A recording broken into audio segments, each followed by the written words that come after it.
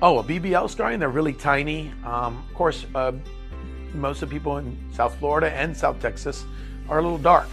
So you're going to have some uh, post surgical hyperpigmentation, means it's going to get dark. Uh, usually that goes away in a year and it starts to get lighty. And if it doesn't, there's creams or lasers that we can lighten it.